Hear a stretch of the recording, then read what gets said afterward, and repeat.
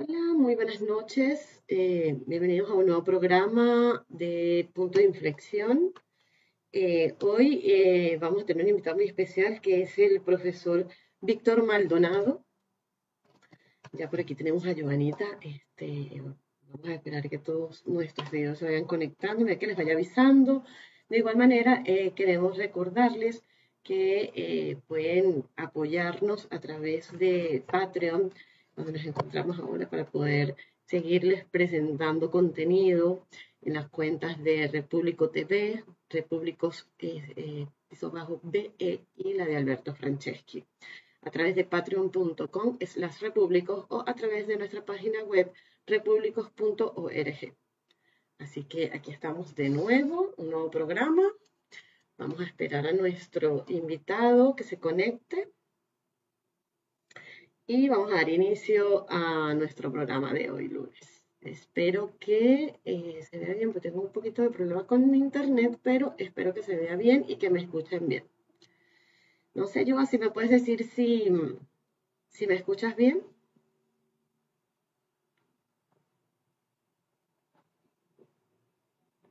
Aquí llegó el doctor, vamos a esperar que me, el profesor a ver que me, que me solicite para arrancar con nuestra entrevista de hoy. Sí, ya, ya vi que llegó, pero todavía no me ha solicitado la cámara. Sí, déjame ver si lo puedo invitar yo. Eh,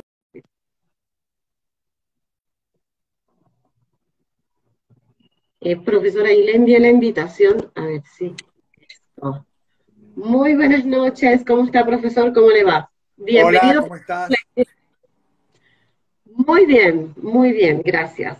Contenta de tenerlo por acá en nuestro programa de los lunes de punto de inflexión con un tema bien interesante de, digamos que, de un, un artículo que usted sacó hace unos cuantos años y este, que con eso quisiera que abriéramos hoy nuestro programa para que las personas que nos puedan ver eh, tanto en vivo como en diferido este, puedan eh, ver realmente de qué se trata esto y contarnos. Este, ese artículo de fascinación totalitaria que usted escribió hace 23 años y que hoy este, lo vuelve a republicar con la intención de que eh, estas personas que no, lo han leído en todo este tiempo, hoy lo retomen este, como un punto importante. Cuéntame un poco sobre ese, ese artículo que usted em, escribió y por qué 23 ah, años después continúa vigente.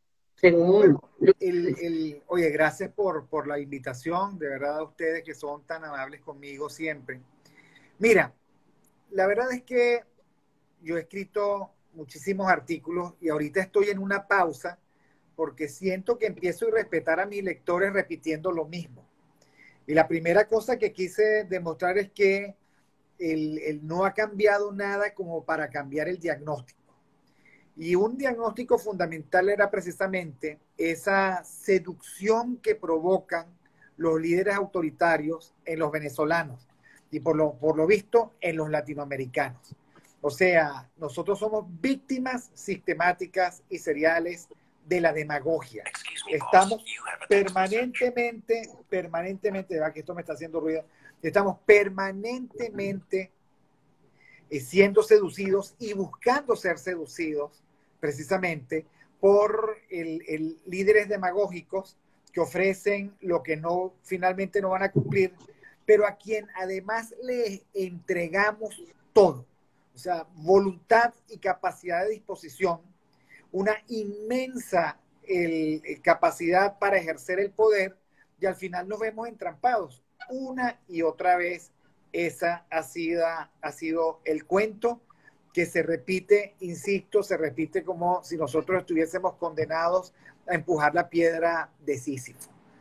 Entonces, es un llamado de atención y en el fondo es una pregunta. ¿Acaso hemos cambiado?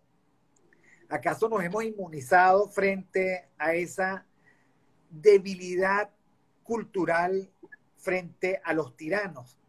¿Acaso nosotros no estamos buscando como solución a otro tirano, el buen tirano, que nos venga a quitar de encima a este tirano que ya no nos gusta, pero que nosotros pusimos?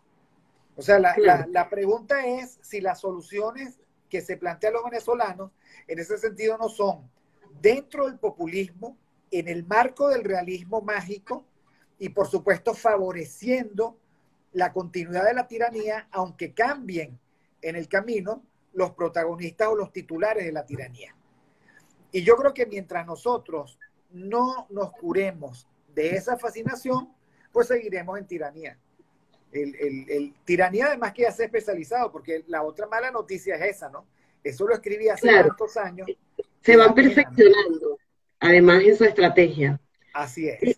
Hay una parte, eh, cuando usted inicia el artículo donde habla de Hitler, de Mussolini, nos nombra a todos estos personajes. Pareciera que todo esto termina siendo cíclico. Pasa un ciclo, llegan, se van unos, se, borran, digamos, del presente, pero llegan otros y se van reciclando estos, estos personajes totalitarios. Bueno, mira, yo quise llamar la atención al hecho de que los monstruos de hoy eran gente muy popular ayer. Hitler era en ese momento el modelo, el, el, baste ver la reciente película Múnich para darnos cuenta de que para el momento todos los líderes de Occidente estaban eh, eh, deslumbrados por Hitler. Lo mismo pasó con, con Mussolini. Yo el, el pongo de relieve a Stalin, Stalin que está siendo reivindicado y que no hay forma de contar la historia de la Rusia reciente sin él, y para los rusos tendrá eso su propia,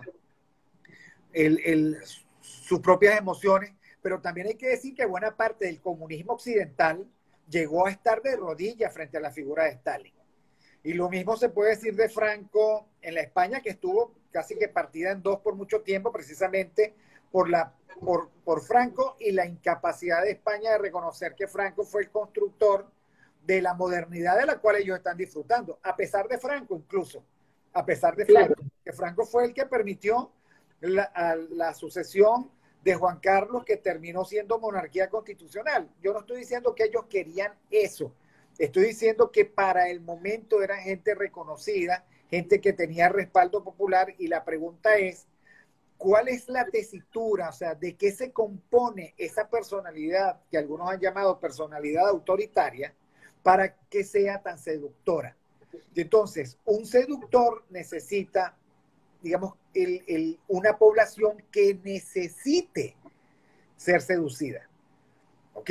Y parte del problema que tenemos en Venezuela y en buena parte de América Latina es que nuestra narrativa es de seductor seducido. O sea, hay dos cosas que sueñan los venezolanos. O ser el tirano, ¿ok? O ser tiranizado.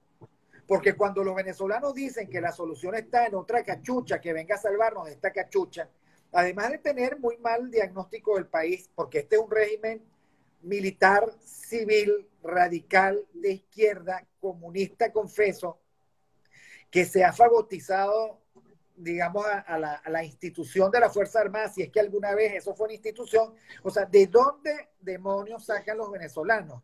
Que puede venir un militar venezolano a salvarnos, cuando los, los militares venezolanos han sido nuestra pesadilla de siempre. Y sin embargo, hay gente que dice, tenemos que buscar el golpe, y de hecho, de las últimas cosas idiotas que tuvo público y prensa que hizo Leopoldo López, fue precisamente caer en la trampa del 30 de abril, que no era ninguna otra cosa que al ponerse en manos y poner el país en manos de unos militares que al final jugaron con él el Kikirihuique que ya sabemos. Entonces, pero por, por otro lado, nuestra forma de involucrarnos con el liderazgo es una forma de, de, de servidumbre y sometimiento.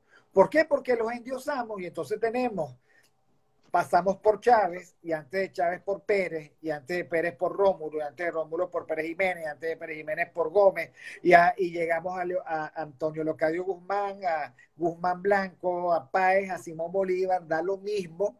Y en este momento entonces en nuestra pequeña e infértil parcela de supuesta oposición, enamoramientos súbitos, intensos, absolutamente abominables de con Capriles, antes con Rosales, después con Leopoldo, no me hables mal de Guaidó.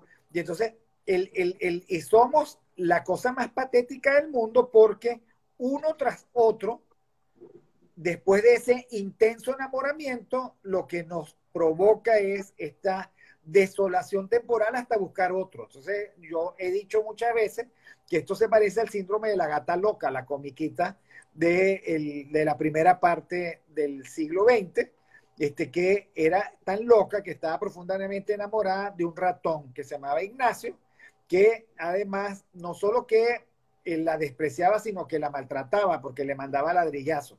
Entonces, bueno, de lo que, el, el, de lo que se trata es saber si ese vínculo de, que yo pongo, de simpatía, que nos cae bien, de cercanía, que lo podemos tocar, y de supuestos milagros políticos, o sea, de, darle o de atribuirles a ellos una capacidad de transformación de la realidad que va más allá del sentido común, si esa no es la verdadera enfermedad del venezolano, cuyo síntoma es la tiranía en la que vivimos.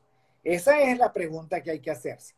Esa es la pregunta que me hice en ese momento y la verdad es que no encuentro razones, no encuentro razones para seguir escribiendo algo diferente a esto, porque yo creo de verdad que lo único que pasa un día tras otro es la ratificación de ese diagnóstico. Ahora, yo en ese momento era incluso más, más optimista, que yo decía, bueno, en algún momento choca con la realidad y la realidad se encarga. ¿Por qué? Bueno, porque tú puedes prometer muchas cosas que la realidad se encarga de decir que no puedes hacerlo. Y eso es lo que yo termino diciendo ahí en el artículo. Bueno, en algún momento tanto populismo nos va a quebrar y cuando quebremos vamos a tener que eh, el, empezar de nuevo el ciclo. Lo que no cae en cuenta es que los regímenes totalitarios se comen las instituciones, se quedan con todo el poder y por muy mal que le, van, le vaya a los ciudadanos, ellos siguen al frente. Y entonces eso que en el momento yo diagnostiqué terminó siendo este ecosistema criminal, el que tiene mucho, digamos, de economía ilícita, que disfruta un mundo con la indiferencia en la que tiene sometido a buena parte de los venezolanos y que además, la verdad, les, le, le, importa muy poco la suerte de su población. Se han ido 6 millones de venezolanos, no le importó. le han bloqueado y, digamos, hecho la vida imposible con las sanciones, ellos lo que buscan es la forma de eliminar las sanciones. Están los venezolanos pasando carencias todavía hoy, carencias que, garantizan que siga el despoblamiento del país y a nadie le interesa, construye como construyeron Stalin, Hitler, Mussolini y Franco, vidrieras de prosperidad, vitrinas de prosperidad todo el mundo se fija en eso, todo el mundo habla de normalización porque a los caraqueños les va un pelo mejor, pero ahorita estaba hablando con una amiga mía merideña y me decía que tenía 12 horas sin luz y que seguía igual el problema de la gasolina. O sea, no, esa es la cuarta característica de los venezolanos. Los venezolanos son incapaces de ver más allá de sus narices. O sea, ¿puede, podría ser esto, y creo que lo interrumpa, lo, lo detengo ahí, podría ser esto eh, un punto donde es el venezolano a través de todos estos años, porque como usted bien lo dice, no es un tema de 23 o 24 cuando llegó Chávez, sino que esto viene mucho antes. Este, puede ser que hoy en día el venezolano se fue mareándose ante toda esta situación que, que ha vivido el país y se fueron acostumbrando a una normalidad que realmente no es normal. Porque yo escucho que Venezuela se está arreglando, pero yo no veo que eh, deje de irse la luz, ni que la gente pueda ir a una estación de servicio a cargar combustible sin ningún problema, porque realmente eso no pasa. No hay agua, no hay luz, eh, no hay gasolina, eh, los sistemas de salud están en las peores condiciones. Entonces, ¿dónde está la mejoría? Porque hicieron un concierto, porque abrieron un bodegón más, porque montaron un, concesionario de Ferrari. ¿Quién tiene acceso a todo eso? ¿Qué pasa con la población que no tiene acceso a eso? Para entender lo que están viviendo los venezolanos, no hay mejor libro que El hombre en busca del sentido de Víctor Frank, que es una narración de su vivencia cotidiana en un campo de concentración. Por supuesto, el, salvando las distancias, la reacción psicológica ante una circunstancia que nos obliga a sobrevivir o a intentar huir con todos los riesgos que eso supone, digamos, nos permite a nosotros agarrar el libro de Víctor Frank y darnos cuenta que nosotros estamos pasando circunstancias similares y que la conducta es similar y es una conducta absolutamente racional, dadas las circunstancias. ¿Ok? Que los venezolanos nos pongamos felices porque hay una semana en donde no hay apagón y que respiremos profundo, eso es absolutamente natural. Que los venezolanos digan, hay, hay un concierto, al fin, aunque yo no pueda, este, el, el, ir a, ese concierto. Asistir, claro. Aunque, aunque, aunque, aunque eso finalmente no sea inclusivo para mí, el hecho de darme cuenta de que las condiciones subjetivas están de alguna manera el, siendo más benignas, hacen que yo, digamos, construya esa narrativa. Es humano. Ahora, eso no significa para nada, para nada, que esa sea una descripción precisa de la realidad, sino que somos humanos, ¿ok? Y que en tanto que humanos, la verdad es que queremos el tener momentos de respiro. Lo más, digamos, el, explicativo de lo de Víctor Frank, para gente que, además, con todo el respeto, lo que, eh, eh, el, a ver, habla mucha paja, ¿ok? El, bueno, Víctor Frank describe que en su campo de concentración había noches en las que ellos se dedicaban a cantar. Ahora, los vas a ver de afuera y decir, imbéciles, ¿cómo van a cantar si están en un campo de concentración? En cualquier momento se mueren. Deberían tener cara de consternación y deberían vivir en carne propia las circunstancias de, esta cosa tan horrible y cruel como ser víctimas de la peor crueldad del nazi. No, ellos cantaban porque en medio de tanta desolación y tanta penuria, si, les daba por cantar, y se robaban unas papas a veces, ¿ok?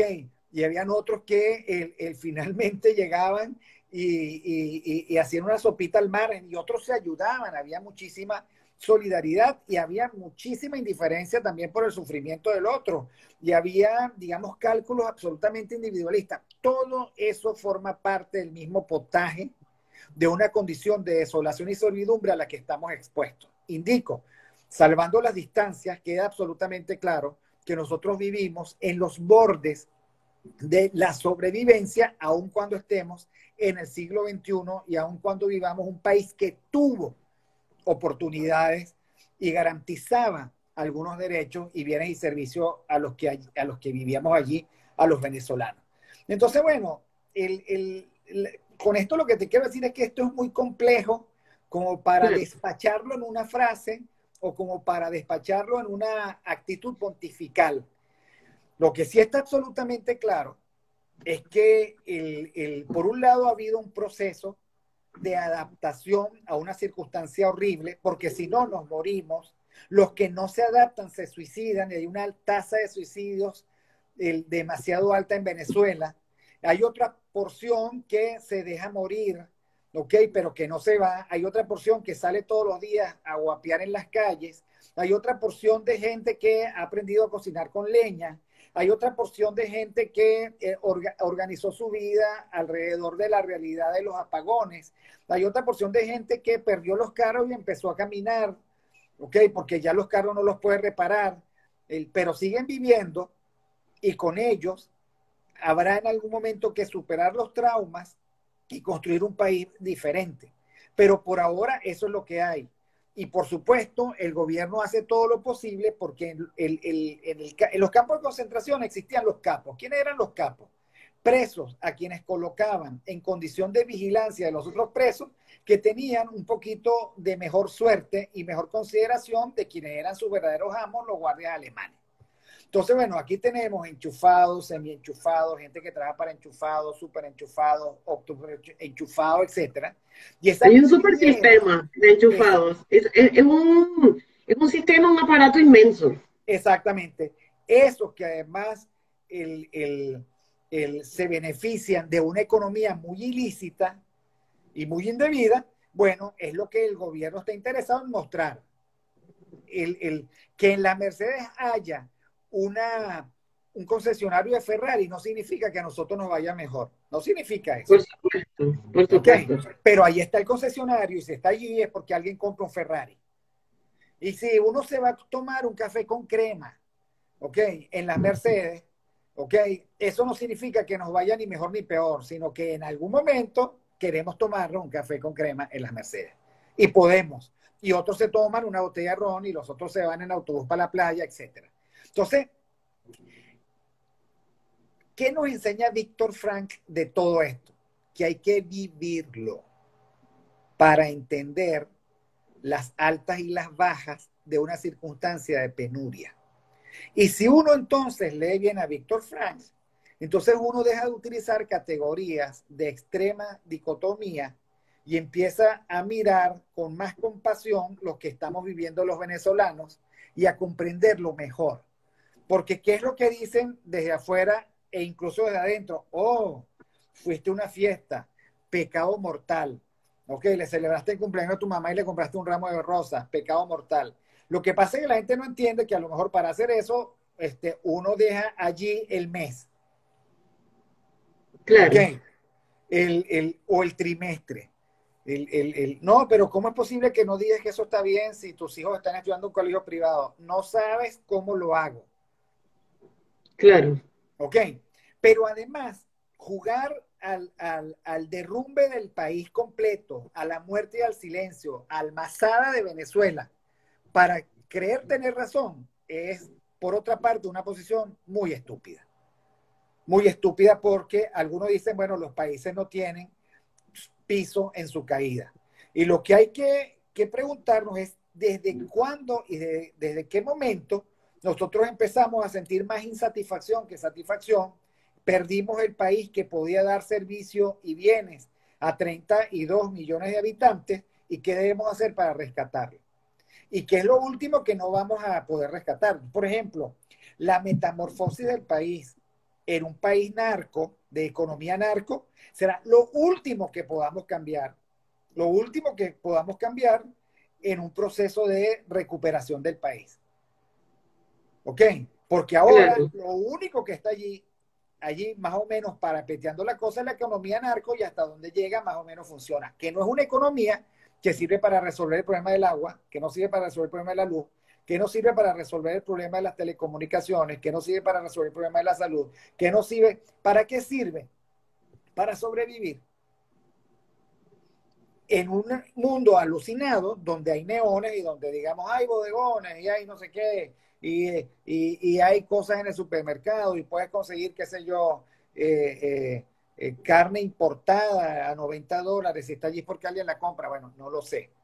lo que quiero decir es que el país de verdad es aquel que existe y sobrevive cuando se apagan las luminarias que alucinan y que nos permite ver, digamos, y constatar nuestra pobreza, nuestra soledad, nuestra incapacidad de construir futuro, nuestra angustia por el tiempo presente, pero también nuestro compromiso por quedarnos en el país que es nuestro.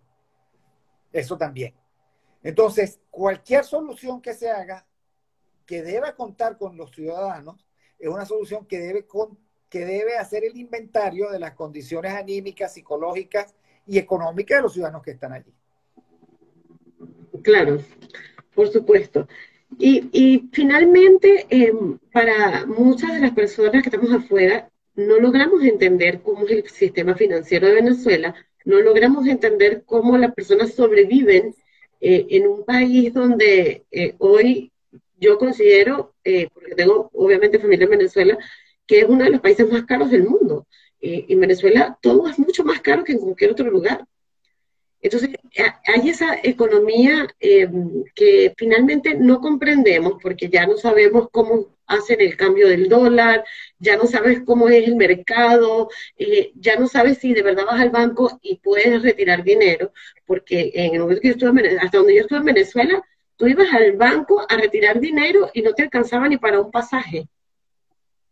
Claro, en el, en, el, a ver, es bueno que lo diga porque yo creo que una, digamos, de las exigencias que tiene la necesidad de comprensión, la necesidad arendiana de comprender, es vivir esa realidad. O sea, comprender es reconciliarlo con una realidad, ¿ok? Para que esa realidad nosotros la, podemos, la podamos adquirir o asumir. Diría Max Weber, comprender es finalmente el identificar y vivir los elementos subjetivos, no lo aparente, sino lo que está más allá de la apariencia para finalmente saber, digamos, cómo se compone, cómo se estructura.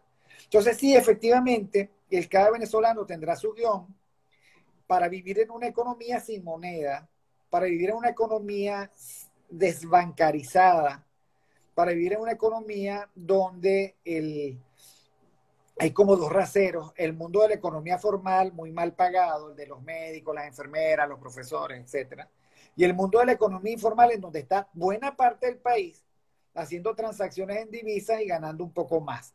¿Qué dicen los, los, que se han atrevido a dar promedio? Bueno, que ahorita un salario en el sector manufacturero es promedio 87 dólares, lo que no dicen es cuál es la desviación estándar, 80, 100 dólares. O sea, no dicen cuánto ganan 2.000 y cuánto ganan 50. No sabemos la desviación porque el promedio es una cifra que engaña. Eh, pero lo que sí te puedo decir es que ni 200, ni 300, ni 400, ni 500, ni 600, ni 700, ni nada alcanzan. No alcanzan. Pero no solo que no alcanzan, sino que además a cada día, por ejemplo, hay épocas como ahorita, no hay bolívares. No hay bolívares digitales, porque hace años que ningún venezolano sensato eh, tiene verdadero interés por tener billetes. ¿Ok? Hay otra época, ¿ok? Que, por ejemplo, no hay dólares. Y entonces tú a lo mejor tienes bolívares, o tienes dólares, o tienes una cuenta afuera y quieres traer, no hay forma. Y para colmo, el gobierno entonces está especializado en poner barreras. Entonces, esa normalización supuesta, el gobierno que la hizo con las manos, la está destruyendo con las patas, como dicen en, en verdadero castizo. ¿Ok? Porque ahora con el impuesto y el seguimiento y de nuevo entonces la, la búsqueda del precio justo va a acabar con esa ilusión de armonía que supuestamente permitió cierto abastecimiento, mucho más costoso. Entonces, claro, si tú dices la porción de perdedores del país, que son de los empleos formales, profesores, etcétera, entonces llegan y te dicen, efectivamente, me pagan, me pagan además el bono y el recontrabono, y sucede que no puedo comprar un cartón de huevos y un kilo de jamón. ¿Y qué hago? O sea, ¿cómo hago? Bueno, claro. El, el, el, por alguna razón, sabemos dos cosas. Con eso no se puede vivir. Si vives es porque de alguna manera tienes el, recursos adicionales, que puede ser el, porque tienes familiares en el exterior o porque tú simplemente tienes otro empleo y otra forma de incorporar recursos. Por ejemplo, uno ve muchos profesores venezolanos meritorios, muy meritorios, muy, que ellos mismos ponen su curso en Twitter. Mañana voy a dar una clase de yo, filosofía aristotélica. ¿Ok? Y tú tienes a tu disposición al mejor profesor de filosofía del país dándote una clase en directo por 30 dólares. ¿Por qué? Bueno, porque esa es su forma de compensar el, el, tema de que su salario no es un salario, sino una invitación a la muerte. Los profesores, por ejemplo, que no han conseguido esa ruta, se están muriendo de hambre. De hambre. Tú lo ves con menos peso, no tienen zapatos, no tienen celular, tuvieron que dejar el cable. O sea, se, se echaron a morir como también está clarito que si tú no logras tener algún propósito, algo que te mueva, tener la suficiente autoestima, y esos son procesos psicológicos completos. No es que, ah, me voy a meter cinco bolívares de autoestima para ver si resisto. Hay gente que no ha podido, porque hay gente que está además muy sola. Y esto no es fácil vivirlo en soledad, porque te enfermas y, no puedes comprarte una aspirina. Y también uno ve en las redes sociales, bueno, entonces hay que ayudar al profesor tal, a la enfermera cual, a la mamá de este, a la esposa del periodista, al periodista mismo, etcétera, ¿no? Entonces, el, el por cierto que yo no quiero dejar pasar el tema de que hay una discusión muy ingrata de gente muy necia, que la verdad es que debería haber todo un movimiento para exigirles silencio si no tienen nada más que decir. Es de aquellos venezolanos que en el exterior ahora se les ocurrió que, que, que, que ellos tienen más derechos que todos los demás venezolanos porque ellos supuestamente mantienen a los venezolanos de aquí. yo les voy a decir desde Venezuela que se pueden ir larguísimo al carajo ellos y sus reales, porque la verdad es que no mantienen a nadie y muy probablemente no mantienen a su familia, porque no conozco capacidad de venezolano que pueda mandarle a su familia 500, 600, 700 dólares. Entonces está hablando paja por el conglomerado de un país que no merece de los venezolanos ese tipo de prepotencia y arrogancia, porque los que nos quedamos aquí no somos ni mejores ni peores que nadie, nos quedamos aquí por decisión, por suerte, por lo que ustedes quieran, el, pero no, no merecemos que un venezolano desde afuera, con esa prepotencia propia del venezolano, que por eso muchos no lo quieren en Panamá, no lo quieren en Colombia, no lo quieren en Costa Rica, no lo quieren, por, por prepotente y arrogante, entonces, claro, vengan a decir, no nos vengan con esto, que nosotros, ustedes viven, yo los he oído, viven en Venezuela porque nosotros les mandamos unos reales. Y eso no es verdad. Ojalá no fuera cierto. pero no es cierto. No es cierto. porque, hay gente que se va con la promesa de mandar y no puede. Y a mí me van a decir que hay 6 millones de afortunados es que, que muy, bien. que llegaron hoy, mañana buscaron un lugar para mandar dinero lo enviaron y la familia aquí lo que quiere es que siga ya trabajando porque no lo que uno ve, mira, en TikTok, en Twitter, en Instagram, en Facebook, son historias patéticas de venezolanos que dicen, tengo cuatro trabajos, de broma me quedan 50 dólares, este se los mando a mi mamá. Ahora, recibido aquí los 50 dólares, tengo una pésima noticia, no alcanza para nada, para nada, para nada. Para nada en Katia, para nada en eh, una bolsa, una bolsa de comida para una semana en Katia cuesta 25 dólares. Entonces, si tú le mandas a tu mamá 50 dólares, bueno, come un día sí y otro no. Claro. Con muy malas proteínas. Entonces, claro, el, de nuevo, como es una circunstancia muy dolorosa, las reacciones que están detrás de esa circunstancia son dolorosas porque dice, decía un psicólogo amigo mío, que detrás de una actitud de esas, lo que hay es una inmensa tristeza, que no saben cómo controlar, que no saben cómo resolver. Probablemente están muy frustrados porque, en primer lugar, están fracasando en el exterior. En segundo lugar, no tienen tanta holgura como creyeron que podían tener. Y en tercer lugar, lo que tú dices, Venezuela se convirtió en un país ridículamente caro, carísimo, carísimo. Carísimo. Y entonces, claro, a, mí mismo ahorita yo tengo dos carros malos de tres. La última vez que hice esta entrevista tenía uno, un carro malo de tres, de tres carros que tienen 15 años. Y yo no los puedo arreglar porque entre los dos carros son 3 mil dólares. No puedo, no tengo ese dinero. Claro. Ustedes dirán, ay, pero qué caro. Bueno, esos son los precios venezolanos. ¿Qué quieres que haga? A me monto el carro en el lomo y me lo llevo para donde, para Colombia. Claro. Entonces, el, entonces no me vengan a decir que que mandan 150 dólares se, este, se convierten en merecedores de sustituir a Simón Bolívar en la Plaza Bolívar y además creen que porque tienen ese dinero y lo mandan, son los que van a decirnos a los venezolanos cómo es que hay que hacer las cosas para salir de esto. Claro, claro. Y lo digo porque lo he dicho en mi programa de radio y todo, porque cada vez que me asomo a Twitter sale un bobo a decir eso. No vale, digamos, además que eso va en contra de mi concepción de compasión y misericordia. Eso que tú estás diciendo está deshonrando a la persona que recibe ese dinero, que no soy yo, que probablemente sea tu madre. Así es. Y entonces tú estás deshonrando a tu madre en la misma medida en que tú estás diciéndole a tu madre que tú tienes más derechos que nadie porque tú estás afuera y le mandas dos pullas.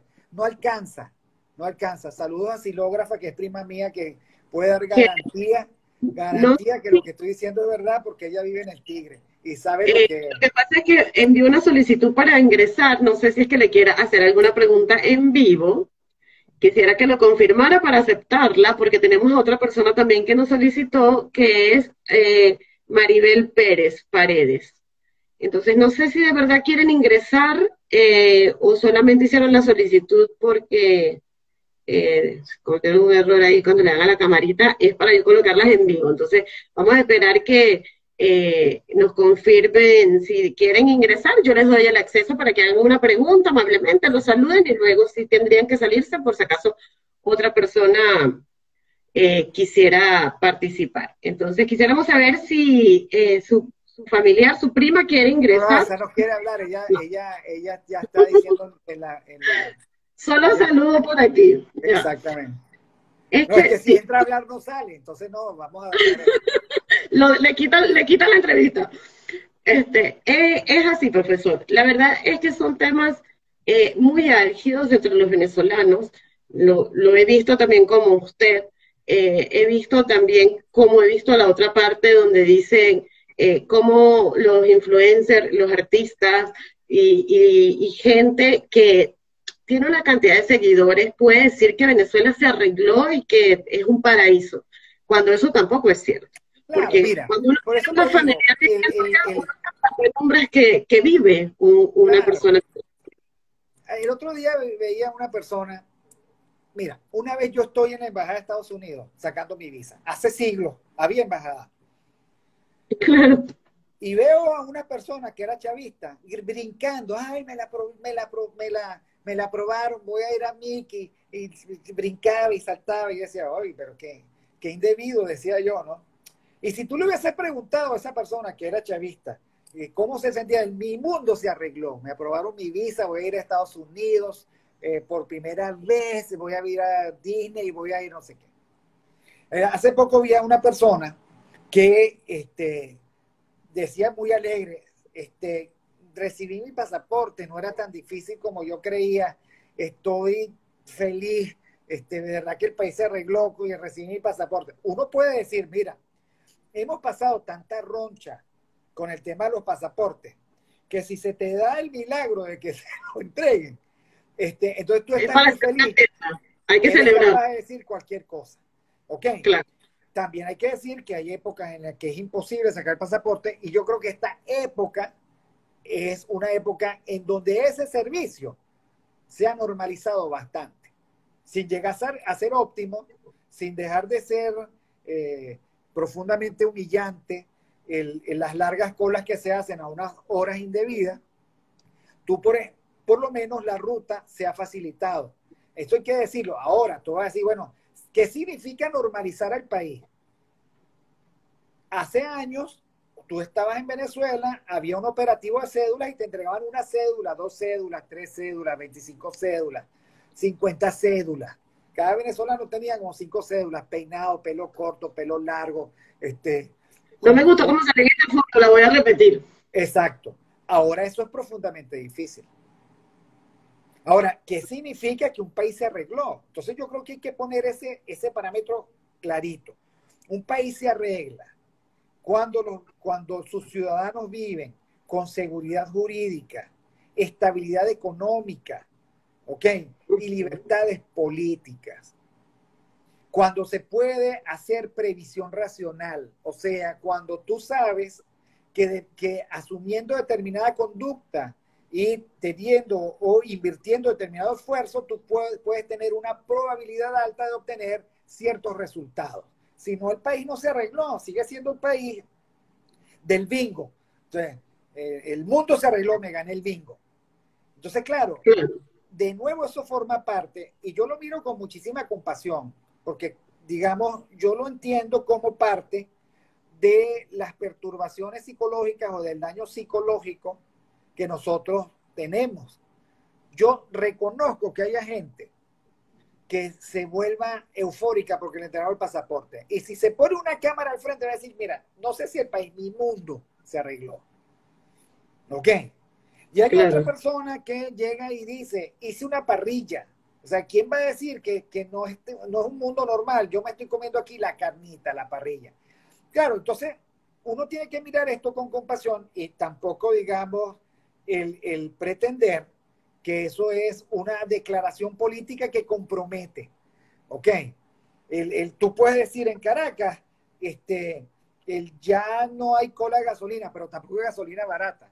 El, el país se arregló. Entonces, claro, ahora, al lado de eso, vamos a estar claros, el gobierno, el régimen tiene una inmensa capacidad para reclutar gente y hacer que esa gente diga lo que al régimen le conviene. Luis Vicente León, el primero y más viejo, ya lo van a jubilar. Sí. Ok. Entonces, el último, el último influencer que tú creas, el que quieras, el que te guste más, hombre o mujer. O sea, yo le decía el otro día a mi esposa, ¿qué es lo que yo nunca voy a hacer? Yo nunca voy a ir al Hotel Humboldt, yo nunca me voy a tomar una foto en el, Hotel Humboldt, yo nunca voy a decir que soy feliz en el Hotel Humboldt porque yo sé que el Hotel Humboldt es una guarida de chavistas enchufados que creen que eso es un privilegio, pobre gente, que cree que eso es un privilegio y que además los precios son desproporcionados. Yo nunca lo voy a hacer. Ah, hay gente que se toma la foto, duerme en la habitación, dice que es lo más maravilloso, se lo pagan, que lo disfrute. O sea, la verdad. Y creo que los venezolanos, sí lo que están viviendo en carne propia como una llaga, es la disonancia, la disonancia el, cognitiva, cognitiva. O sea, ¿a qué reaccionan los venezolanos? A cualquier declaración de uno de los suyos con suerte, de uno de los suyos digamos, que han tenido posibilidades, este, que contradigan el inmenso sufrimiento que todos los venezolanos vivimos sin que por eso signifique que todos los días andamos llorando. Claro. ¿Ok? Entonces, claro, el, el, por otra parte tienes que hay un mundo de los venezolanos, de gente que tiene que trabajar y de a qué te dedicas, yo canto. Ah, no voy a cantar. O sea, tú lo que estás diciendo es que yo no voy a aceptar el contrato y no voy a cantar. Entonces, claro, a eso también hay que ponerle límites, porque es que la gente trabaja en eso. O sea, yo no trabajo cantando. Trabajo, tengo otra, otros otros atributos. Pero lo que quiero decir es, en mi propuesta de ver al país, por eso es que la compasión es la, es la línea transversal. Compasión es ponerme en tu sitio para reclamarte o para, o para convivir con ese sentimiento. Claro. ¿Ok? Comprenderte. Exacto. Entonces, el, yo siento que hay, el, vivimos todos, todos, y yo también, el, con los sentimientos a flor de piel, ¿no? Eh, creo, por otra parte, que nosotros que vivimos en este campo de concentración ideológico, el, sentimos que estamos sobreviviendo y que esa sobrevivencia es profundamente costosa emocionalmente, muy costosa. Eh, siento además que los venezolanos están experimentando una sensación de soledad como nunca antes lo vivieron y lo imaginaron, con las familias fragmentadas por la diáspora. Siento que los de la diáspora, y te lo digo con total propiedad, sufren muchísimo soledad, desarraigo, violencia, desamparo, pobreza, hambre, este, y además sufren por la lejanía. Yo sé eso. ¿Ok? El, y bueno, en el marco de estos sentimientos extremos, tenemos que intentar un abrazo que a veces es difícil, que no tiene por qué dejar de ser exigente y que debe mantener el compromiso de vernos en la realidad con responsabilidad. Y responsabilidad es asumir, asumir las consecuencias de lo que hemos hecho y también asumir, digamos, lo que somos. Y de allí, digamos que la fascinación totalitaria, más o menos, me mensaje esto. Nos metimos en esto. Lo peor es que seguimos metidos en esto, seguimos metiéndonos en esto. Bueno, vamos a tener que hacer algo para dejar de de, cometer los mismos errores. Entonces, la política tiene que ser más exigente. Nuestra relación con los políticos tiene que ser más racional. No puede ser, no puede ser. Imagínate tú, en un país en donde los políticos nos resultaron vendidos y o colaboracionistas, que haya alguien que pueda hacer una distinción entre los vendidos míos que son buenos y los vendidos malos que son aquellos. ¿O es que tú crees que a estas alturas hay una distinción plausible entre un alacrán original y un alacrán que también era original, pero no había salido del closet. O sea, ¿cuál es la, distinción que yo puedo hacer entre Leopoldo López y el de Voluntad Popular que se fue con el gobierno? Si todos están negociando en México, todos se están dando carajazos para estar en México, todos haciendo lo mismo. Ah, porque Leopoldo es más bonito. O sea, explícame tú, ¿por qué Leopoldo no tiene la misma condición de alacrán que los alacranes? O Julio Borges Claro. O los de Acción Democrática. o los de un nuevo que el mismo Jorge Rodríguez, Diosdado, cualquiera de ellos, todos son de la misma calaña, absolutamente. todos, son de la misma, todos, digamos, son de del mismo pozo, y entonces, pero ¿qué es lo que pasa? Cuando se plantea la discusión es, Leopoldo es diferente, Guaidó es el líder que nos va a sacar de abajo, los otros son, digamos, ¿no? Y todos son para colmo, el, el, beneficiario del mismo dedo infecto que decidió quiénes eran los diputados a la Asamblea Nacional 2015, que ha sido la gran decepción del país, porque son ellos los que no lograron tener una agenda política razonable, los que erraron, por supuesto, el curso estratégico, los que al final terminaron dándose besitos y abrazados con el régimen de alguna manera, y los que nos dejaron a nosotros en una circunstancia como la que estamos hoy, sin conducción política, sin salida política de corto plazo y, por supuesto, bueno, entre la absoluta desolación y la absoluta ensoñación. Y te cuento que las dos cosas son muy malas. El desolado se tira a morir, el ensoñador cree en, en pajaritos preñados. Y entonces por eso te digo, bueno, ¿y qué hacemos? Cumplo este año 60 años. Cuando empecé a hablar de esto, tenía 30. Bueno, lo primero que tenemos que decir es que yo ya tengo 60 años. O sea, en esto me gasté 30. No me lo van a devolver, porque el tiempo perdido no hay forma de que nosotros podamos recuperarlo. Moriré cuando deba morirme, pero ya estoy en otra etapa de mi vida. Sigo trabajando muchísimo, pero yo sé que tengo 60 años. Segundo, no lo voy a resolver de un día para otro, hay que empezar de cero. Tercero, ¿cómo comienzo de cero? Cuarto, hay que recuperar la familia. La familia, aunque estemos uno en Australia, otro en Jamaica, otro en Inglaterra, otro en Ecuador, otros en Islas Canarias y un núcleo muy pequeño en Venezuela. Ese es mi caso. Toda la familia que me queda está casi en esa descripción. Y no tengo más porque además murió mi hermana. Entonces, bueno, con esa familia así, tenemos que reconstruir familia. Y tenemos que reconstruir familia desde lo emocional, desde lo, desde lo económico, desde los valores. Tenemos que reconstruir familia porque la familia es la base de cualquier sociedad que nosotros podamos el, imaginar en el futuro. Segundo, tenemos que restaurar nuestra fe porque este régimen totalitario se ha burlado, o sea, de verdad, eh, ha obrado, como decían los viejos, sobre nuestras creencias. ¿Ok? El, tenemos que reconciliarnos con nuestra fe, porque esta es una población cristiana, de cualquier tipo. Y desde nuestra fe, entonces construir los valores del coraje, de la determinación, de la trascendencia que nos hace falta, del propósito que nos hace falta para salir de esto. Tercero, tenemos que voltear a la comunidad. Todos tenemos comunidad, todos. Mi prima, Silófrafa, trabaja, él, vive en, el Tigre, por allá en Anaco, no sé dónde.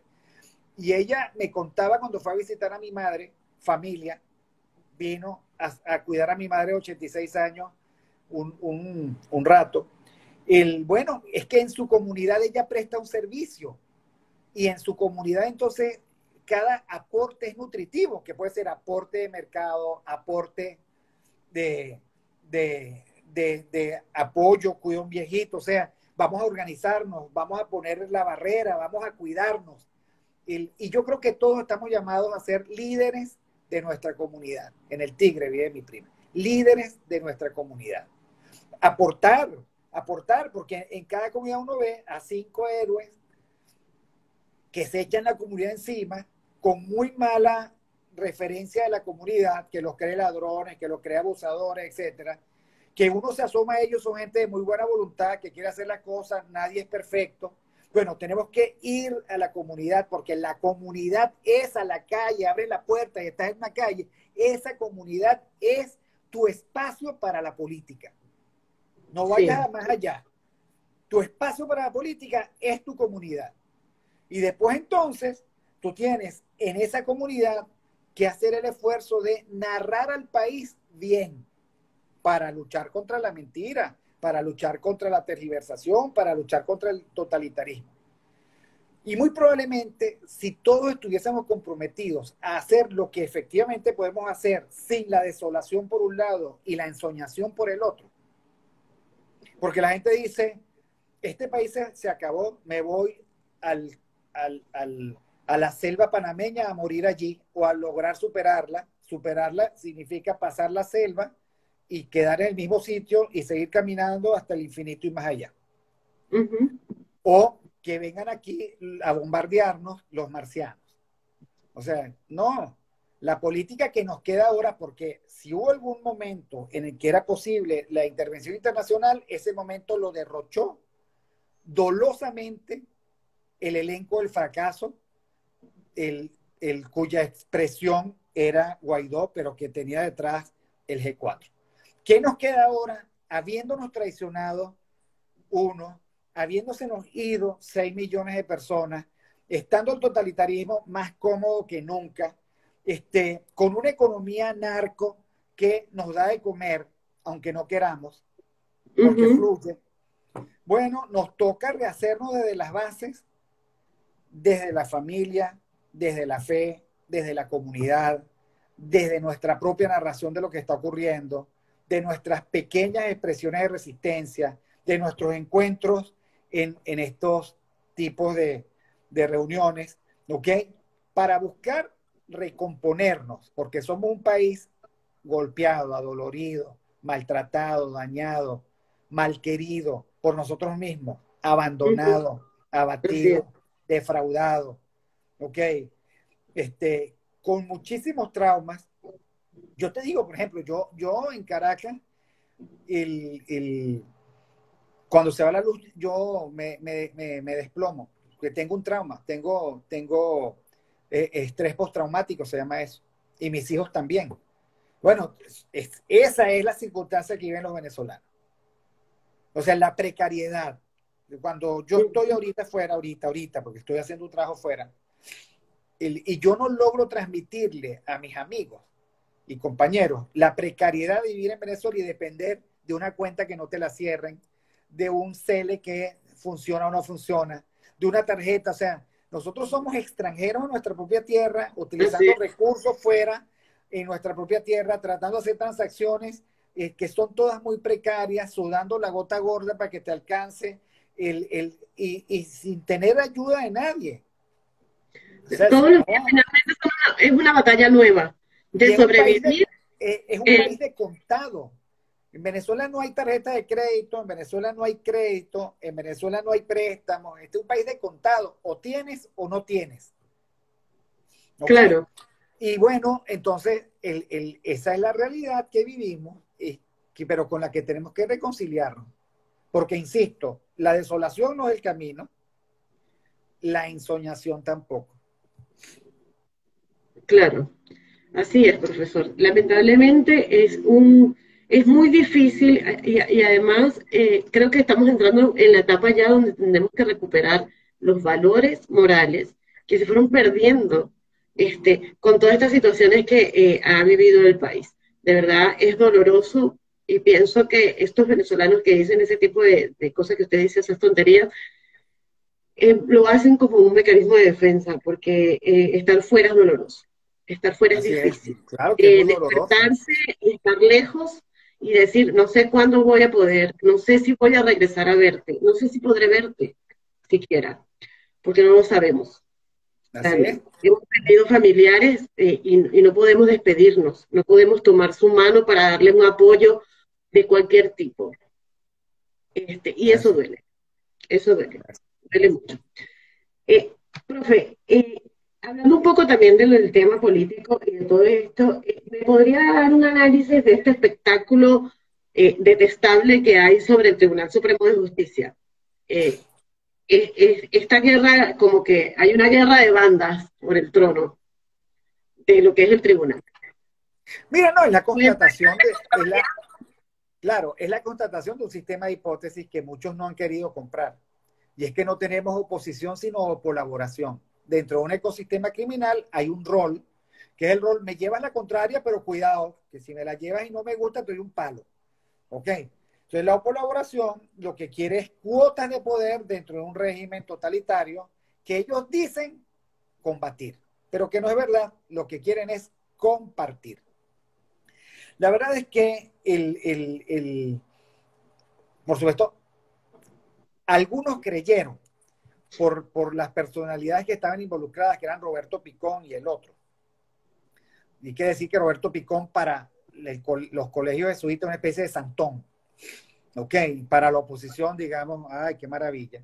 Y yo no dudo que sea buena persona, este, pero, digamos, sí le advertimos a algunos que su voluntarismo no iba a servir de nada, porque aunque fuera con la mejor de las intenciones, él no podía contra un sistema porque nadie puede contra un sistema y aquí los voluntarismos no funcionan. Porque como decía mi querido amigo Antonio Coa, y ponía las manos así, a una organización solo se le opone otra organización. Pero no va a poner aquí una pulga a que tratar de hacerle algo a una organización, eso no sirve. Entonces, el, el, no sirvió en el CNE, las elecciones siguen siendo oscuras, trucadas, no representativas, mal manejadas, ¿ok? Y lo que ellos sumaron fue una frustración más y una evidencia más de que esta oposición servil, hincada, genuflexa, comprada, extorsionada, no era la que nos iba a sacar de nada.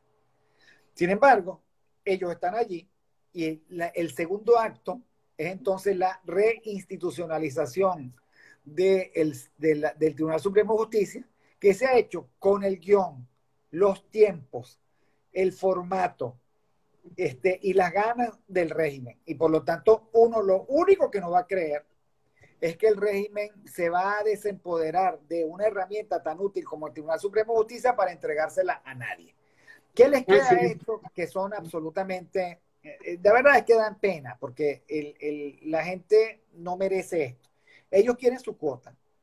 ¿Y qué es su cuota? Su cuota es ser parte, son los capos, los capos de, por eso yo digo, miren, agarren las 120 páginas y léansela. La de Víctor Frank, El hombre en busca del sentido, porque entonces te das cuenta, estos son unos capos, ¿ok? Este, el, el, que, que lo han perdido todo y que lo único que tienen es el interinato para agarrarse unos reales y desde el interinato tratar de de negociar con el régimen para agarrar estos otros reales. Es así. ¿Ok? Claro.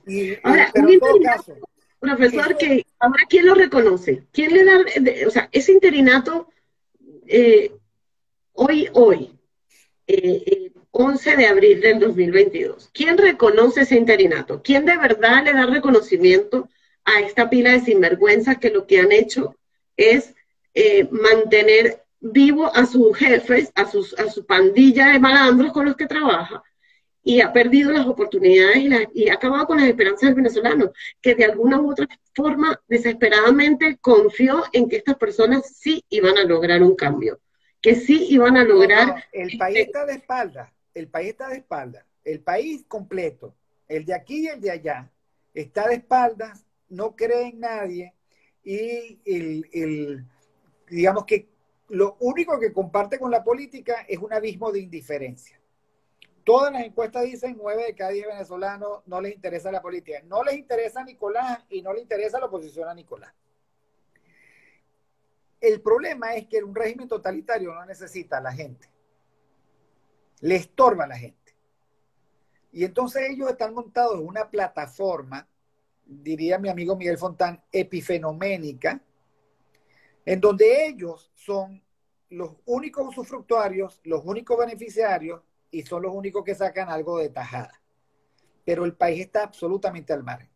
Por eso es que, digamos, el, el, a ver, hay que hacer el aprendizaje, es, es duro, porque es que nosotros no podemos seguir pensando con la lógica democrática lo que es un régimen totalitario que no es democrático. Así es. Entonces, el, a ellos les importa cero el apoyo de la gente, no les interesa. A la oposición mucho menos, porque la oposición es mucho más cínica y de mucha menos tesitura moral incluso que el régimen. Porque estos no tienen ni ideología, estos no tienen nada, estos lo que tienen es hambre, hambre. hambre y no tienen moral. Entonces, claro, en este mundo totalitario, vamos a contarnos es ridículo. ¿Ok? Claro. Hacer cualquier tipo de elección es ridículo. Este, vamos a ver quién dirige o no es ridículo. Este es un rey, es un, un sistema de facto, en donde solo de facto tú puedes robarte a la oposición. O sea, puedes robarte la voluntad de los venezolanos y empezar de nuevo, y solo de facto el régimen pues comete todo lo que comete, y por supuesto de facto no significa de brutos. La violencia, por ejemplo, es una herramienta que se utiliza con criterios económicos. A menos que tú estés loco, tú no haces una matanza indebida. ¿Por qué? Bueno, porque no está solo en el mundo, los demás ven, está la Corte Penal Internacional, tú dirás, eso es inútil, a lo mejor es inútil, pero está allí, dicen cosas, no me conviene, yo necesito maquillarme, este, que no me vean tan feo. Así es la jugada, la jugada es así. ¿Ok? Entonces, el, el, pero es de facto. O sea, de facto significa al margen de lo que piense, diga, aspire o crea el ciudadano. Y la oposición es así, de facto. O sea, estos tuvieron los santos arrestos de nombrar a una comisión de una plataforma unitaria que no consultaron con nadie para ir a negociar en México su propio sometimiento.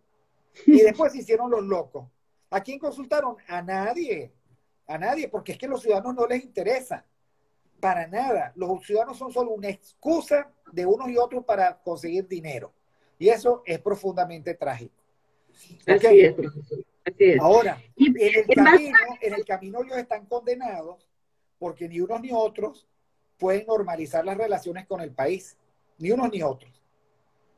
Y el, ellos saben que su gran amenaza es un país que en algún momento cae en cuenta de que no quiere, por ejemplo, no me gusta dar este ejemplo, este indicador, pero a mí me sorprendió mucho ver la huelga de Farmatodo, ¿no? Que sucedió ayer o antier. ¿Por qué? Bueno, porque este, ese es, un, es un, un, negocio descentralizado que cada farmacia, digamos, no necesariamente tiene contacto con las otras farmacias, es un gran es una empresa grande y sin embargo, ayer hubo una huelga en las puertas de, todo Farmatodo para pedir mejor salario. ¿Ok? Bueno, uno nunca sabe cuándo empieza. Uno nunca sabe. O sea, uno nunca sabe cuándo y por dónde va a empezar la reacción de una sociedad abatida y consternada y postrada. Por otra parte, el régimen sabe que esta ola de bienestar, porque aumentaron los precios del petróleo, porque por muy mal que tenga el Venezuela el petróleo, este, algo saca, porque además Biden vino, les pidió perdón, les dio besitos, le dijo, yo me hago el loco con las sanciones, este, porque tiene un enemigo mucho más grande que es Rusia y una guerra muy complicada, este, que les obstaculiza gas, petróleo y alimentos, y entonces la cosa no está para enemigos insignificantes este, como esto. Entonces, claro, el, el, el problema para Maduro está es que una cosa es este, sitiados por hambre y otra cosa es con algo de bienestar acumulado. Entonces ellos muy probablemente tengan que ir administrando esa mejora de tal manera que esa, esa mejora no signifique revuelta contra el país. En fin, controlar los fenómenos sociales no, no son fáciles. la ingeniería social es muy limitada. No es verdad que la ingeniería social permite al más poderoso controlar un país. Lo puede destruir, porque destruir siempre es muy fácil. Este, y digamos que el, aun cuando el país está a espalda, saben que hay un país allí, que si se voltea lo va a aplastar. Y eso tarde o temprano es lo que le ocurre a toda tiranía. De allí digamos que también dije en el artículo de fascinación totalitaria que esto es una sentencia a muerte tarde o temprano. Ahora, probablemente a lo mejor no morimos nosotros primero, pero tarde o temprano eso no va a poder seguir teniendo el sentido que la gente le quiere dar. Es verdad. Profesor, eh, y en base a eso, este, existe eh, la necesidad de una nueva representación del ciudadano con una verdadera oposición. ¿Cómo, cómo podemos medir eso? ¿Cómo, cómo hacemos para, para, para conseguir reagrupar eh, a, un grupo que de verdad podamos eh, impulsarlo, el ciudadano puede apoyarlo y considerar que estos sí nos pueden ofrecer un cambio, porque realmente igual necesitamos eh, un, liderazgo este, que esté fuera de toda esta basura de gente que, que se ha burlado del venezolano por años, pero que sí necesitamos una representación. Alguien que se pare enfrente y nos diga, mira, hay que levantar la voz, hay que hacerlo. Estas chispas que se van a encender son tan importantes como que podría ser una chispa muy pequeña, pero podría convertirse en algo muy, muy grande. Y es lo que todo esto, esto, este tirano y toda esta gente intenta eh, mantener como muy debajo de la alfombra para que no se vea. Mira, yo lo que creo es que la, la política viene desde la fuerza demoledora de lo pequeño. Yo sí creo que la política hay que comenzarla de cero y que va a tener ventaja el político que diga la verdad, a la que ninguno está acostumbrado, que se presente genuinamente y que esté dispuesto a escuchar al pueblo y a conseguir con el pueblo la ruta de la empatía. Porque ahorita el político está en FM y el pueblo está en AM. No entienden, no se entienden, se desprecian, el, no hay forma. Porque el político llega con mucha prepotencia a hablar cuando lo que debería hacer es escuchar. Entonces, el, el, ¿cuál político puede tener éxito? Aquel que diga la verdad, aquel que tenga el tono apropiado, aquel que no bandee entre la desolación y la ensoñación, aquel que proponga un trabajo de menos a más, aquel que se reencuentre con los valores verdaderos de los venezolanos, aquel que que construya verdadera unidad, que no es la unidad de las élites, sino la unidad de las bases, que haga que los venezolanos se reconcilien y encuentren la fuerza a pesar de su debilidad. Aquel político que construya esperanza, esperanza. Cambio, futuro y esperanza. Aquel político que proponga un cambio, que nos conecte con el futuro con esperanza. Y si bien es cierto, eso tiene digamos, una dimensión de tecnología política. También es cierto que el venezolano el, está muy, eh, eh, digamos, ha tenido tanta experiencia que es difícil engañarlo. Y por lo tanto, aquel que se asome a los venezolanos tiene que demostrar eh, el perseverancia, el muchísimo, yo le decía a una amiga hace rato que me llamó de Mérida precisamente para preguntarme cosas de política. Yo le decía, mira, el tema es, el tema es escuchar más que hablar. En una primera etapa. O sea, los políticos buenos deberían hablar menos, pedir menos tribuna y vivir más la experiencia de un país que, que ha sido molido a palos. ¿Ok? Claro. El, con, el político debería caminar con los que están yéndose del país. Debería estar con los profesores que están, digamos, sin salida, perdiendo peso y perdiendo capacidad de contacto. Debería estar con los ancianos que tienen muchísimo miedo porque no se pueden enfermar, porque saben que se van a morir. Debería estar al lado de los jóvenes que se hacen muchas preguntas y que no tienen respuesta y que tienen mucha rabia. Debería estar al lado de las mujeres que están en condición vulnerable. Debería estar este, cerca de las familias que, oye, que hacen todo lo posible por mantenerse unidas a pesar de la tristeza de la distancia. O sea, y sobre eso, una vez que has oído, construir un discurso que se parezca a ser el vocero de todas esas penalidades, construyendo una salida realista. Claro. Profesor, ¿y eso sería eh, solamente, digamos, exclusivo para quienes están en Venezuela o sería necesario también quienes están en el exterior? O sea, yo creo que, los venezolanos que están en el exterior el, son venezolanos, punto. Sufren, pero desde el otro lado. Y sufren sus propias penurias. Lo que no pueden hacer los venezolanos de Venezuela es sufrir lo que sufren los venezolanos en el exterior. Y lo que no pueden hacer los venezolanos exterior es sufrir lo que sufren los venezolanos en Venezuela. Entonces lo que hay que hacer también entre los venezolanos son tender puentes de comprensión sin caerse a mentiras. O sea, eh, por eso es que el principio de la nueva política es la verdad. Y empezar a decir, mira, no nos está yendo tan bien. Ok, no era lo que me imaginé. Además te extraño mucho. Además, pienso, además pienso mucho en que extraño mi tierra. había gente que me llamaba a decir, profesor, ¿usted cree que ya es hora de volver? Y yo, no, espérate, espérate. espérate, en la época de Guaidó, ya no podemos devolver. Bueno, entonces, de nuevo, creo que la clave es no estar ni en la desolación ni en la ensoñación.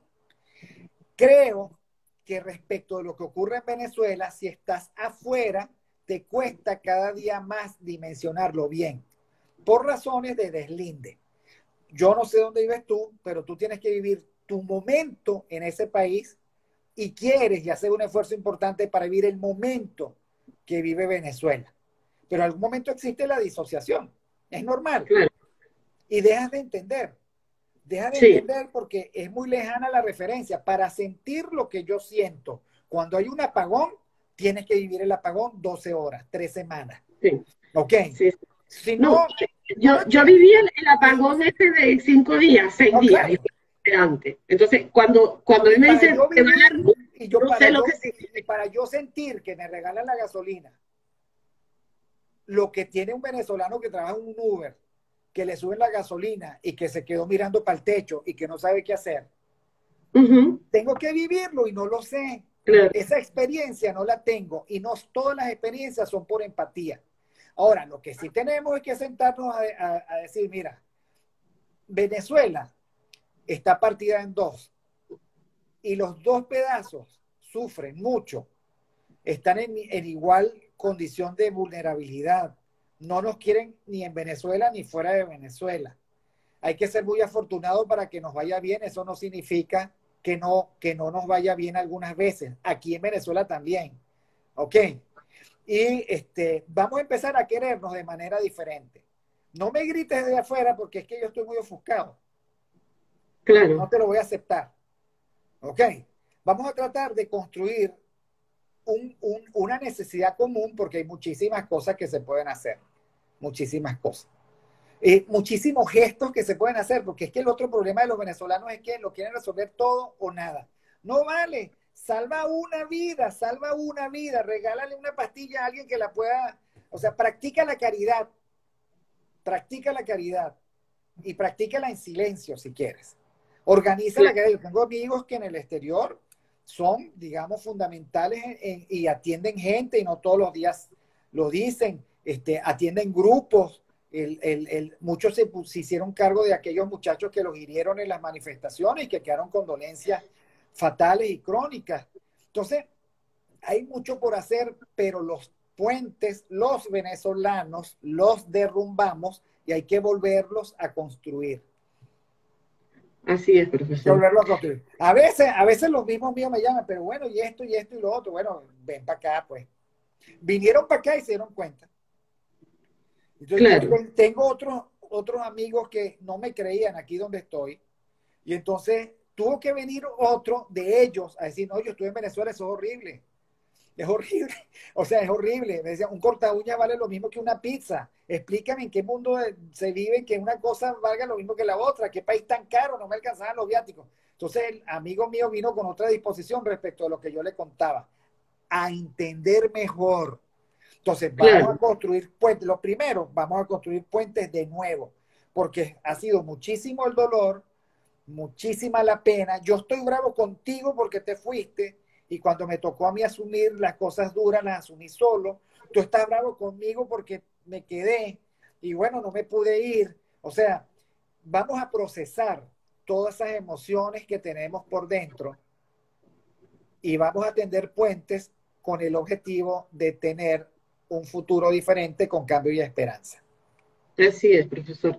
Profesor, ¿usted considera que a 20 años del 11 de abril eh, podríamos decir que hemos aprendido la lección? ¿O realmente no la hemos aprendido todavía? estamos en eso, estamos en eso, estamos en eso. Estamos en eso porque, el, bueno, yo creo que nosotros fuimos secuestrados también por un liderazgo muy mediocre y también creo, por eso es que yo recomiendo ver al hombre, leer al hombre en busca del sentido, es que no tenemos más opción que aferrarnos al clavo caliente que se nos presenta cada vez. ¿Ok? Y, eso, por supuesto, lo único que ha hecho es dejarnos sin manos. ¿no? y eso, eso a veces es muy triste. Entonces, nada, lo que, lo, que, lo que quiero decir con esto es, yo sí creo que el venezolano no va a salir de esta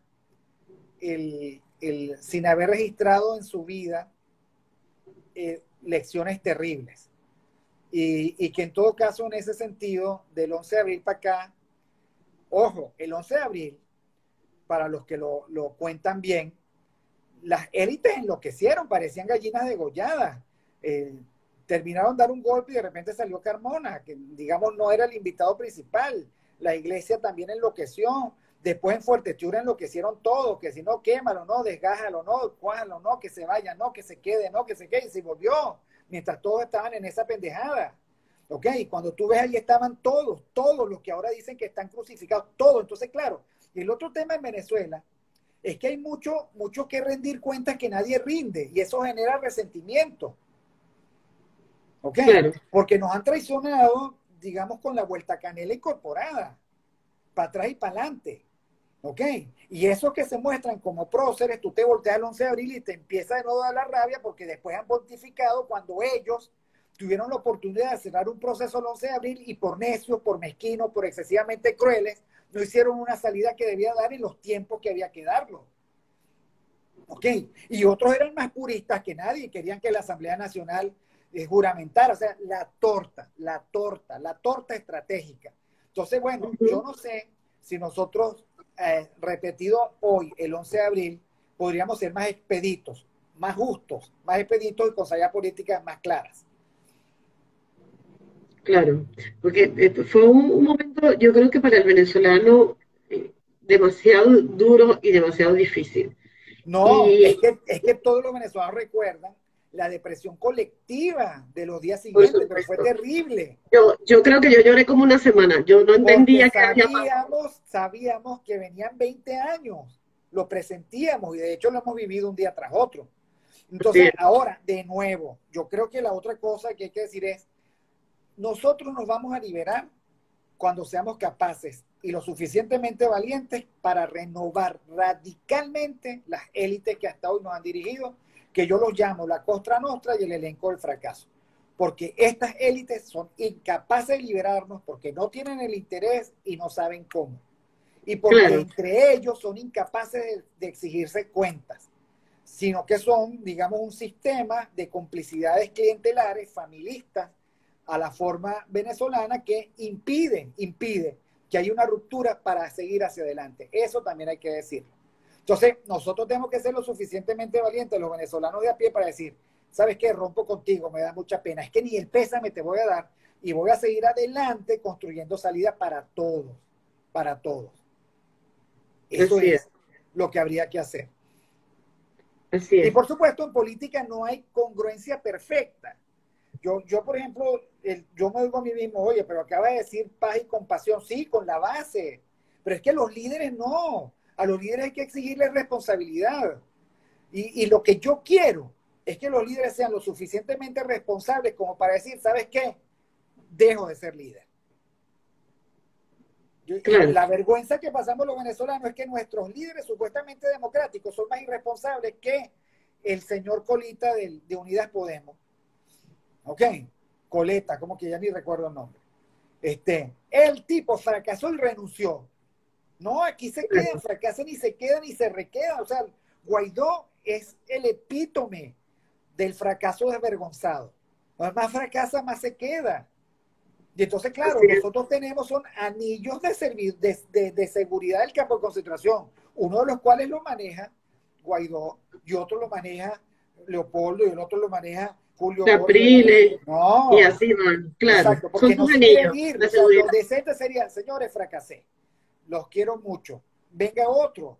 Que venga otro. Son los mismos 23 años. Es que no nos han cambiado nada. Ni el disco. No han cambiado nada. Lo que han hecho es rotarse.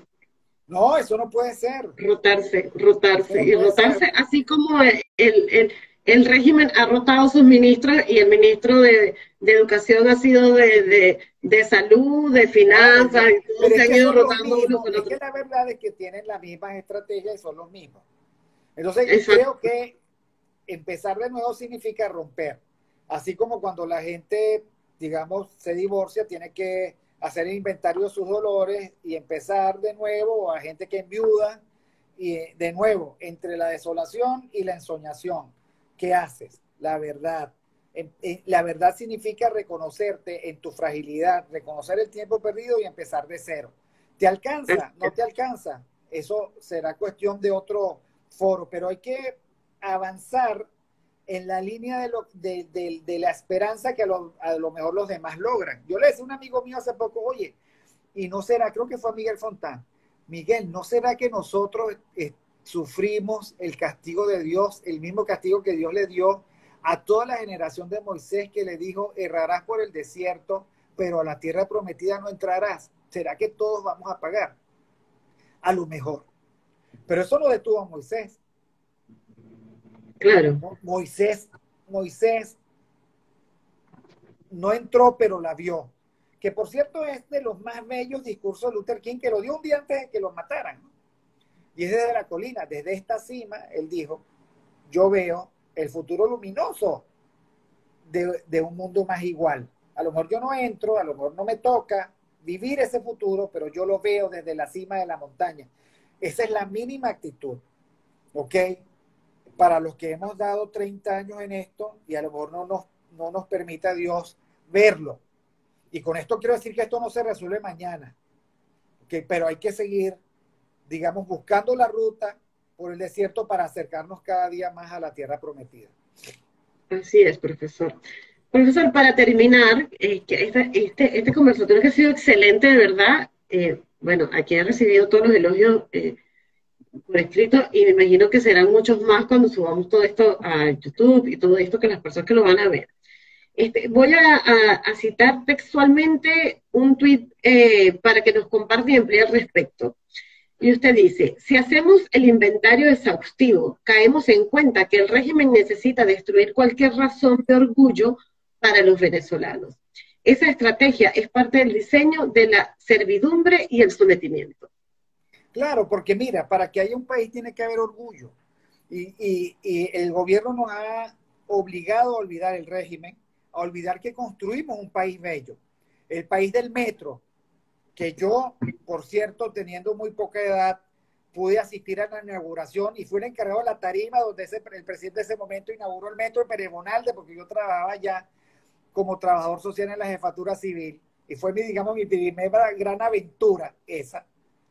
Bueno, cuando tú ves un metro sin escaleras mecánicas, mal, maloliente, peligroso, oscuro, lleno de humo y sin aire acondicionado, entonces allí tú notas que el gobierno quiere que, o sea, este era un país de, de un tendido eléctrico espectacular. Así es. Este es un país donde yo en 1969 visité a mis abuelos y era oscuro en el páramo del Zumbador, en la Uyamala, mis abuelos maternos. Y, por allí pasó el gobierno con el departamento de malariología y cambió las casas de Bareque por casitas rurales y puso la luz y llegó la luz. O sea, ese era el país que se extendía en términos de modernidad. Y estaba el Teresa Carreño y Chávez lo destruyó con sus intervenciones y no, y el, y, el Guri entonces era, y había agua. O sea, tú volteas y lo que ves es ruina. Y eso forma parte del diseño de la desesperanza, que es propio de los totalitarismos. Entonces, de lo que se trata es que nosotros recordemos que eso que está destruido alguna vez fue construido por nosotros. Y que esa mismo que pudimos, lo último, es que al régimen se le cae el viaducto, inventa cualquier vaina, no puede y se lo tiene que dar a la empresa privada más importante, precomprimido, y lo hizo en seis meses y ese es el viaducto que tenemos. Entonces lo que, y era venezolana, no se buscó de Brecht, porque no tuviéramos viaducto todavía. Okay. Y claro, cuando tú ves ruinas de obras sin terminar, que son la exhibición palmaria de la corrupción más grotesca, tú dices, oye, este es un país de de a medias, no, este país construyó cosas maravillosas, este es el país del Banco Obrero, que construyó urbanizaciones en toda Venezuela populares y que le dio vivienda digna a mucha gente, incluido a mi papá y a mi mamá, en Katia.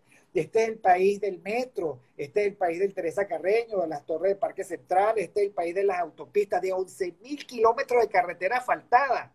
Eso es, eso en América Latina no existe. ¿Ok? Destruida, está bien, pero este es el país que lo construyó. Este es el país de Puerto Ordaz, que lo construyó de cero, es, una ciudad de diseño. ¿Ok? Este es el país de nueve ciudades principales que todavía resisten, Caracas, Maracay, Valencia, Maracaibo, Barcelona, Puerto La Cruz, Cumaná, San Cristóbal, Barquisimeto, Mérida. O sea, son ciudades de primera línea, tampoco eso es común en nuestros países. Este es un país que se empinó sobre, sobre sus recursos y con capacidad y que ahora se monta en un metro peligroso, no puede ir a Valencia sin pasar peligro, él no tiene luz, no tiene agua. Bueno, por eso es que digo que al régimen le conviene, le conviene eso, porque eso es lo que nos coloca entre la desolación y la ensoñación. Pero no, nos, no nos permite tocar realidad. Así es, profesor, así es. Y uno escucha eso y dice, ¿cómo es posible que, nos hayan destruido el país de esa forma? Yo que trabajé en el ¿Cómo es posible que tomamos, ¿cómo es posible que tomamos decisiones indebidas cuya consecuencia fue la destrucción del país de la cual también nosotros somos responsables? Así es. Esa es la, el inicio de la sanación de un país para que eche para adelante. Así es. Saber que hemos tenido una cuota de responsabilidad de lo que hoy es el país.